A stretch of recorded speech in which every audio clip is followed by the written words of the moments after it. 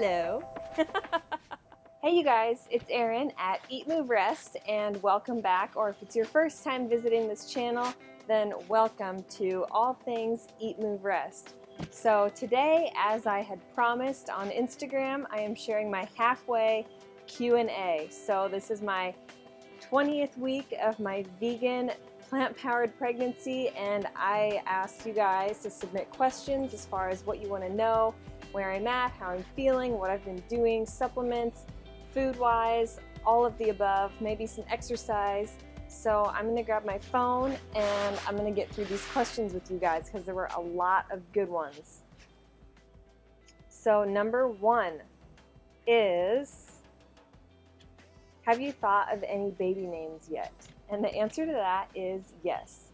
So I've got on my notes here list of boy names and girl names, but we haven't really settled on just one for a boy or a girl yet, but I will say the girl list is longer. I have a slight inclination that it might be a girl, but I don't really know for sure. All I can say is that our boy names and girl names are short. I like three letter names. I like them to be short and sweet. And Dusty and I have pretty much the same taste, so we've agreed on almost all the names. We like things that are a little bit unique and eclectic, but not too crazy. So if you guys have any like short three, four letter names, drop them in the comments below. I would love to hear. And on that note, if you guys are into these vegan pregnancy and what I eat in a day videos, give this video a thumbs up. And if you haven't already, hit that subscribe button up in the corner. Join us here at the Eat Move Rest fam. We would love to have you join us. And make sure you've got that bell click. That'll turn notifications on. You'll get alerted whenever we put out new content here on this channel. So like I said, leave me some love in the comments below, maybe some baby boy and girl names. Maybe if you think it's going to be a boy or a girl, just let me know below. And make sure you stay up to date with Dusty and I daily on Instagram. We're always on stories. We're posting all the time at Erin Stanczyk, at DB Stanczyk. So let's get back to these questions.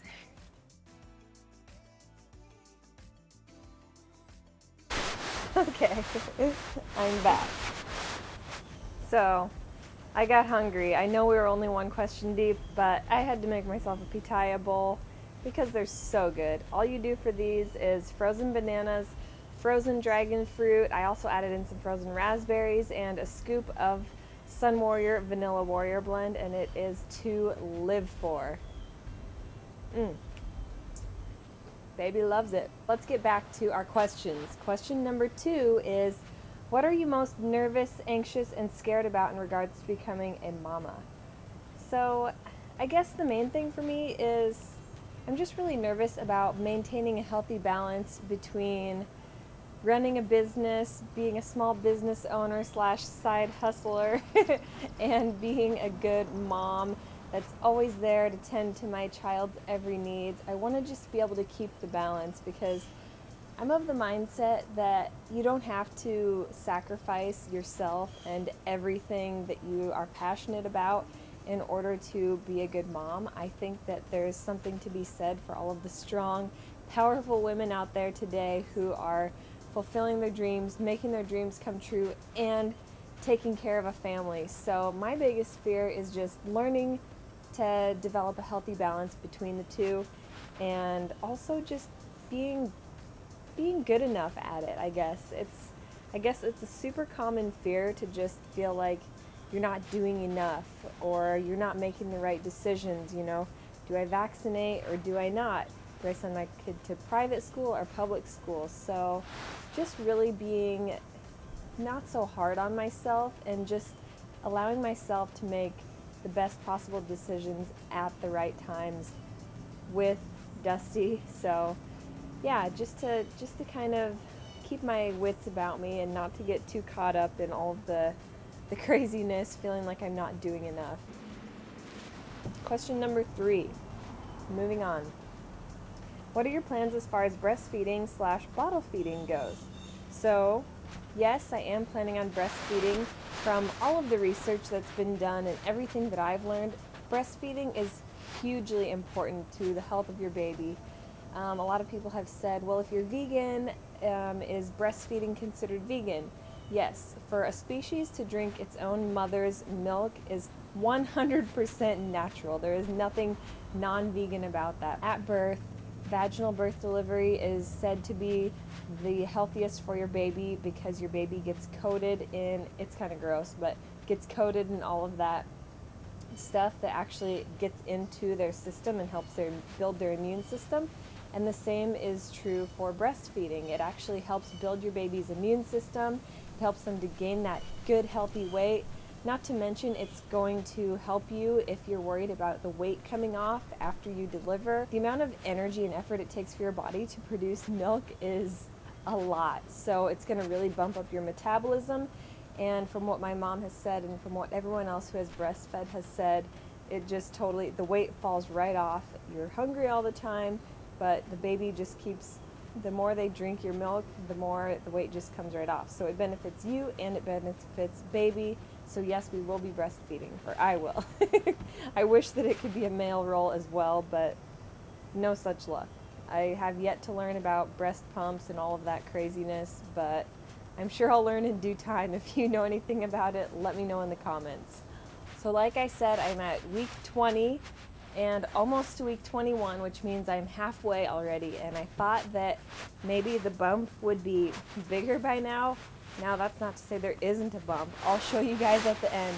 There's definitely a bump, but I'm surprised that you can get halfway through pregnancy in the middle of summertime, still wearing a swimsuit, still wearing your same shorts and clothes and all of that, and nobody on the streets would ever know. And my mom has even said, you know, up till month seven when she was pregnant with me, nobody really noticed until, you know, finally she popped, and you could really tell um, by month seven, eight, nine. So it's kind of comforting though because you don't you know that you don't have to be uncomfortable for as long as you think. Moving on, our next question is your unhealthiest pregnancy craving so far, and did you give in to it? Um, yes, I did have a super unhealthy pregnancy craving, and yes, I did give in to it. Now, you're probably wondering if it was a vegan craving or not, and I will say it was cheese pizza. But we were in LA and we were at a vegan restaurant, so it had vegan cheese on it. It was so, so good. We were with friends, just having such a good time. Of course, I gave in to the craving. It was so worth it. So, on a day to day basis, I haven't been having extreme cravings like that. But, you know, from time to time, if it's a special occasion, like, why not treat yourself, pregnant or not? So, I don't think that there's, I don't think you should honor every single craving that you have, whether you're pregnant or not. I think some of them might be your body speaking to you, saying, hey, you might need more of a certain mineral or nutrient. Other cravings might just be like, oh, well, pizza's good, donuts are awesome, why not indulge? So I don't really always listen to my cravings. I try more to go with my gut, listen to my intuition. Like, how is this going to make me feel after the fact? Is it actually going to be nourishing me? Then maybe it's a craving I should satisfy. On the same token, sometimes, like I said, it's okay to, to cave to those to those crazy cravings, but when you're pregnant, I don't think it should be an excuse to go overboard and get extreme with it. So that's just my take. Okay, how did you know you were ready for kids? And this one's really simple and short and sweet. I didn't know I was ready. We, I wouldn't say that I was ready, and from the people I've talked to, there's no such thing as being ready. It just, you know, you get ready when you have to get ready. So Dusty and I weren't actively trying to get pregnant, but we also weren't trying not to get pregnant. So we were just trying to live our lives super organically, like the way that we eat, and it just happened. So I'm not going to say that I was just all rainbows and sunshine right away. There was a big component of fear initially, but you know, you just get yourself ready for whatever life event comes your way when it's time. Um, a lot of times I'm like, well, I wish I would have known A, B, and C then so I could have been prepared. But it's like, I think God kind of prepares you in due time for whatever comes your way. So I wasn't ready for college when I entered into college, but I prepared myself as I went. I learned as I went. And the same is true for anything. Your kids graduating college, for getting married. You know, I didn't know a thing about planning a wedding, but I just took it step by step, day by day things got done. We had our dream wedding, And so I'm kind of trying to take it the same way with expecting and becoming a mom, becoming a parent. Um, Dusty and I are just so blessed to have each other as a team, to help each other. Um, you know, in some aspects, he's more ready than I am, so we're just taking it day by day, like I said, and learning as we go and trying not to be too impatient with ourselves or hard on ourselves about it. Are you going to find out the gender of the baby? So, another short and sweet that I'll probably get long winded on is no. We are waiting. Our due date is December 22, three days after my birthday, three days before Christmas, and you know, give or take a couple days, we could have a birth matching birthday baby or a Christmas baby, which is kind of exciting. But we just think either way, it's going to be such an amazing um, experience to just kind of hold out and wait, um, have a little bit of the suspense, and it'll make such an amazing surprise for Christmas. And um, you know, we're kind of okay with just shopping for gender neutral things, anyways. And I will say, we just had our 20 week ultrasound. So we just got done with our 20 week ultrasound and uh, midwife appointment. It went great. Baby looks healthy. We're gonna show you guys a few images. What do you think? Hmm, super cute and fun. Yeah, I didn't I didn't expect it to be that involved of an ultrasound, so it was kind of exciting to see all of the different angles and images. So that was the full anatomy scan and it was just awesome to see. We did have to remind the ultrasound tech, we don't want to know the sex, so she said she'll steer clear of that area. We got a big printout of all of the different, um, like a few different face shots and feet, the cutest little feet. So I will insert photos here for you guys to check out. And we just love, love, love this one profile photo. He's got the, he or she has this cute little button nose, and we're like, whose nose is that? so, okay. Whoville. They said that this is the placenta, this is baby, and his little legs were like smushed up in there. The head is facing down. That could change, but they said it's a good sign. so it's super cute, and it was so fun and exciting to see. Like, just we saw the heart beating, we saw the brain, we saw the spinal cord, the bones in the arms, and just everything. Everything looked great and healthy, and size-wise, baby is about the size of a mango. We decided that it's got a big belly, so it takes after me. and it's got a tiny brain, so it takes after Dusty. Uh. Just kidding. I went and grabbed two books that have really been helpful to me so far. So I have been getting a lot of questions about what resources am I using. So there is um, Raised Vegan. You can find them on Instagram and Vegan Pregnancy and Parenting. They're connected. Um, they do have a publication, a monthly um, magazine that comes out, so check that out. But these are the two books. Ina May's Guide to Childbirth. I was totally new to her, but Ina May Gaskin is a midwife who a lot of people recommended reading her work, watching her documentary. Um, she's just like the mother of natural childbirth. So this has been super helpful because there's been a lot of things like vaccinations and just different delivery methods, different decisions to make that I've been searching in the index and it's been super helpful. And then the other one is so if you're a clueless fan like me, you're going to love this. It's by Alicia Silverstone. She's been a long time vegan and animal rights activist. This book is incredible. It's called The Kind Mama. I'll put the links to these below in the description, but I really, really love this one because she gives really sound advice. And for every question, she breaks it down into like the OBGYN's answer, the midwife's answer, and there's like one other. Um, and she's got recipes in there and so much. It takes you on through childbirth to child care. So I recommend both of those books to help you get prepared. I've got more on my list that I haven't ordered yet. I've had tons of great recommendations. If you guys have any for me, put them below. I love checking out, out all that stuff. Okay, moving on. Do you have a gut feeling it's a boy or a girl? So my gut says girl. Almost everybody thinks it's a girl. People are just like, how's baby girl? And Dusty thinks it's a girl, and we've gotten some girl gifts, and I'm not sure why, you know? So last night Dusty and I were saying it's probably going to be a boy. We should get prepared for a boy because we think it's a girl.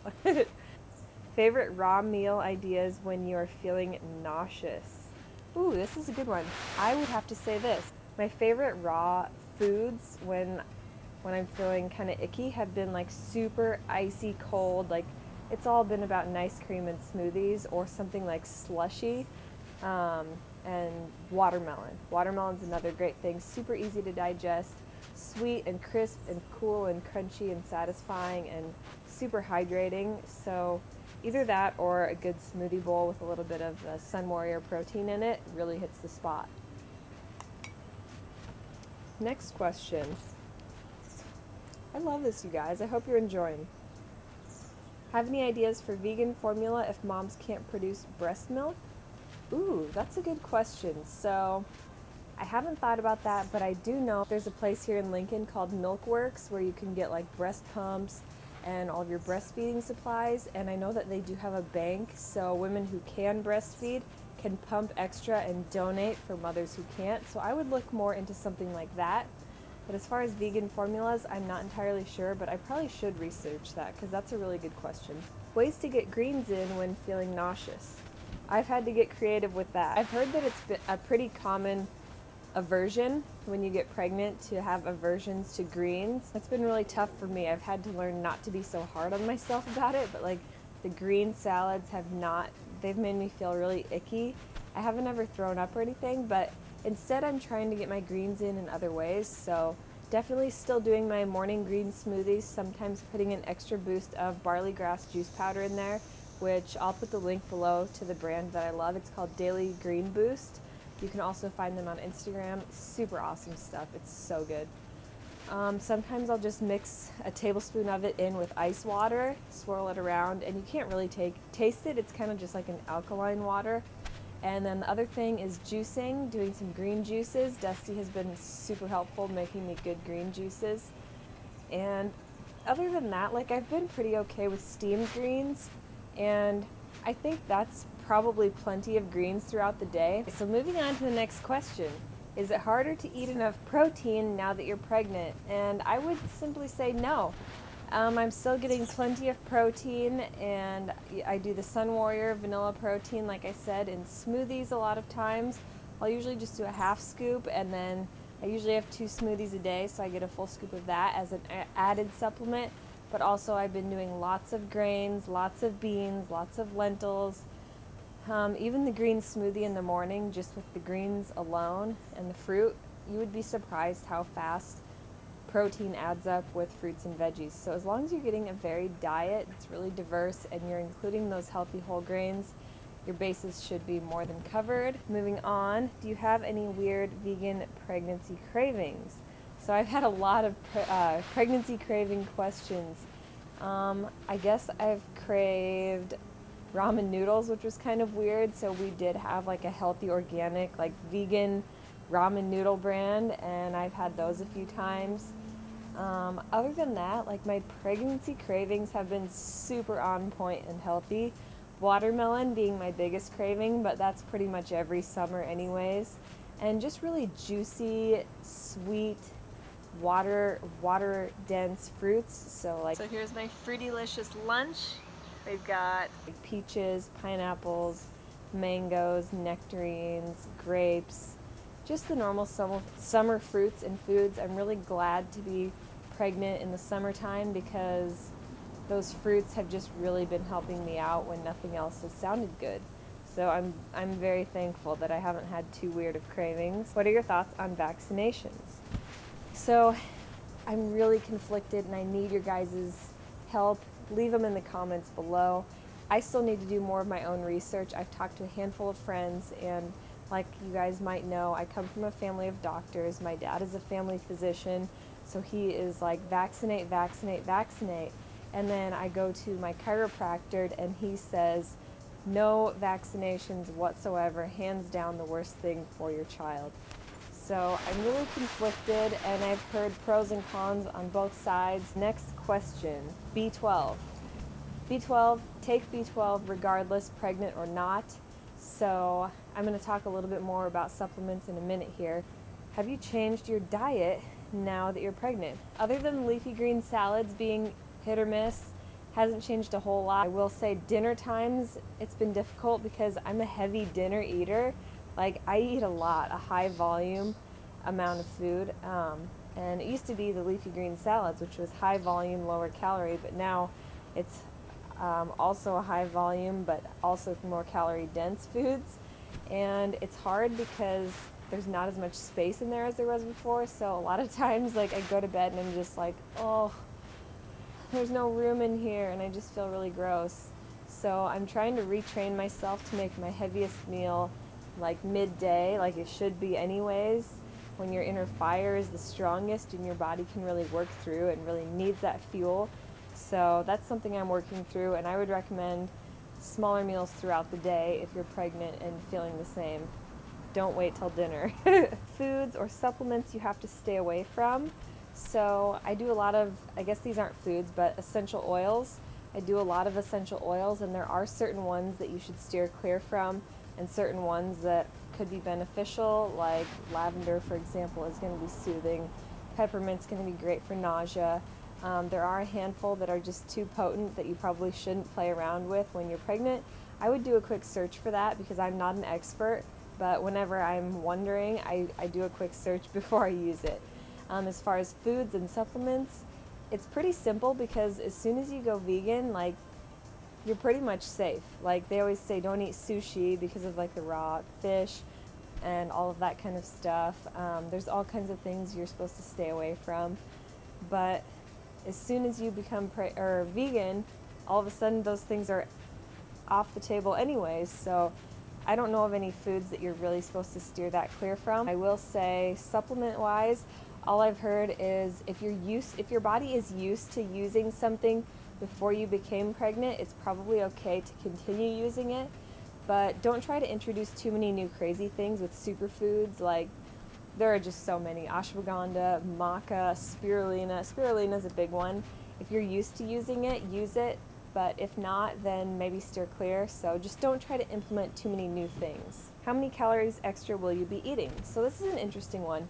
You don't actually need as many extra calories as you might think, especially early on in your pregnancy. They actually say just two to 300 calories should cover your bases, and honestly, that's about what I've been doing. I've bumped it up from about like 2300 to like 2500 calories and I've been feeling great, feeling fine. I don't wake up in the middle of the night hungry. I usually go to bed satisfied. I usually wake up still feeling fine. I'm never I never let myself get hungry basically. So I think that's one thing that's going to vary per person, but for the most part, like you don't have to eat as much extra as you would think. I would just say to listen to your body. Don't let yourself get too hungry angry, tired, or lonely. Final couple of questions. We've got three left. So back to supplements. I'm going to expand more on supplements and vegan pregnancy nutrition on another separate video because it's going to get long-winded. So let's move on. We've got two more questions.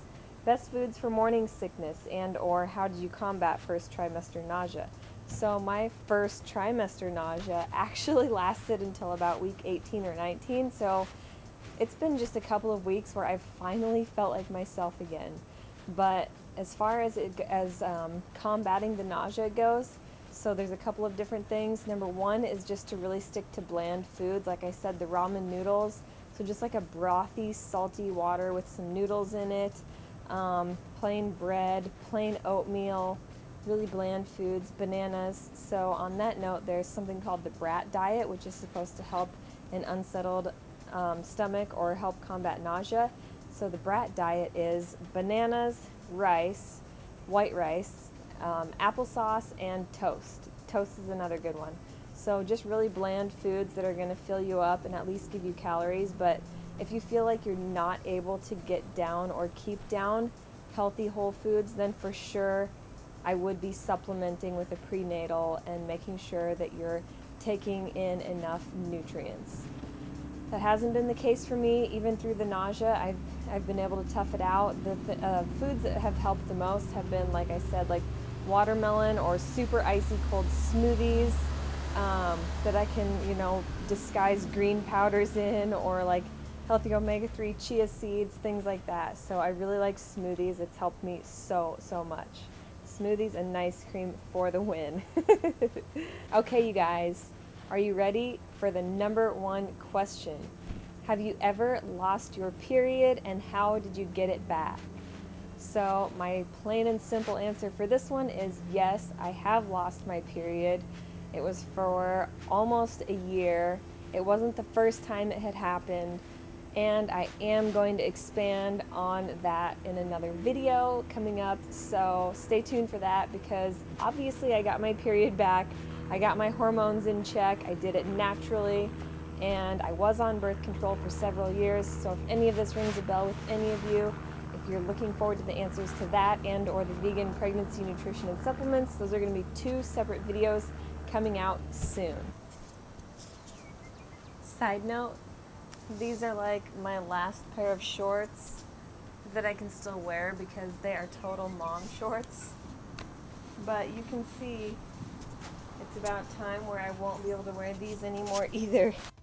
Okay, you guys, so as promised, this video would not be complete without a baby bump shot, so let's do that quick. We are at week 20, almost 21, so halfway through, and there is definitely a little bit of a bump forming.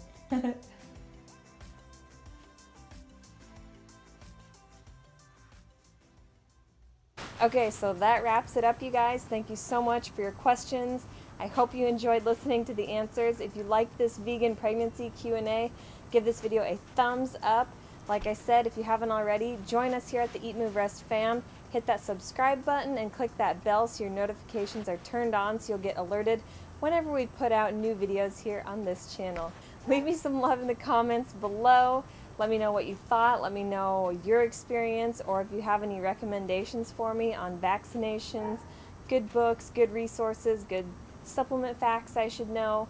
Let me know below. And like I said, follow me daily on Instagram. I'm always active on there at Erin Stanczyk and Dusty at DB Stanczyk. And until next time, eat, move, rest your best. If you're pregnant, you should be looking forward to a couple more videos I've got coming on vegan pregnancy nutrition and supplements, and how I got my period back naturally. So until next time, eat, move, rest your best. Bye, guys.